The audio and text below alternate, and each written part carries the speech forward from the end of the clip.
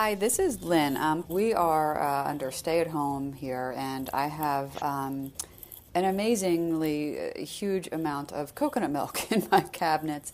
And generally, I'll make curry with it, with the coconut milk, but I'm just looking for something else that I can do with the coconut milk. So, uh, easy, um, you know, having to use ingredients that are obviously, you know, already kind of staples in a pantry. Mm-hmm. But would love to know what other um, recipes or ideas uh, I can come up with. Thanks so much. Bye. That's a good. I have a lot of coconut milk too. I have cans and cans of coconut milk.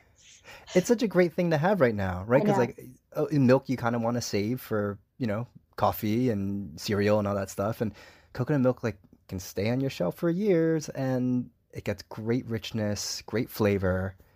But what would you do? I would do. I would make. Um. I mean, right now, I'm looking out the window and it's kind of gray. I would make a Thai um, soup. I would make a tom yum, you know, with chicken stock. Mm. And well, I mean, you're not gonna. I mean, you don't. I probably I don't have lemongrass, but um, I would. You could maybe maybe I would do like a mashup of whatever I did have. Like maybe I would do chicken broth and chilies, and I have lots of cilantro.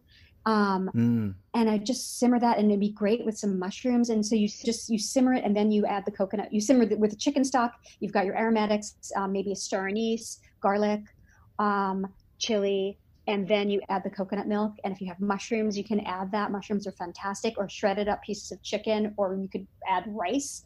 Yeah. Um, also, rice pudding. Rice pudding made with coconut milk is so soothing and so yummy. And uh, you love rice pudding. So you know how much. I feel about rice pudding. I love rice pudding. It's true. I always talk about rice pudding. I'm, i feel like it's, I talk about rice pudding maybe a little too much. I love it. I'm down. Yeah, I'm with you. Or what about using it for French toast instead of regular milk? When you make French toast, if you have bread Oh is, man, that is a good one. You know, um, take your coconut milk and your eggs and you beat it together, um, and then you know I usually add vanilla extract. But if I'm using coconut milk, maybe I would add almond extract instead. You know, to kind mm. of play it in that like a more of a high like nuttiness. Yeah, yeah, exactly.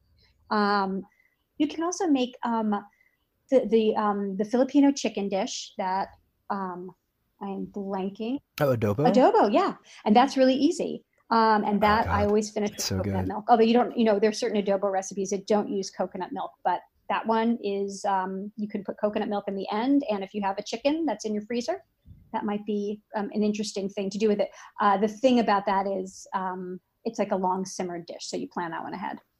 Yeah, but like not difficult. Like okay, so chicken adobo is super regional in the Philippines, but a lot of the recipes I see are very like it's literally you braise it in one part soy sauce with one part vinegar. Right? Yeah, vinegar, like, soy, and very, ginger.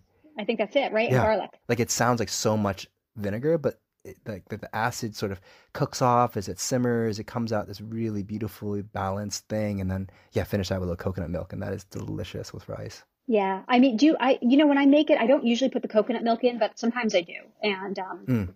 I love it with the coconut milk because you're right, it just kind of cuts it. But you don't want to use a strong vinegar. You want to use like a, I think actually I think coconut vinegar is the traditional, but I usually do it with um, cane vinegar or white wine vinegar, depending on what I have. Yeah,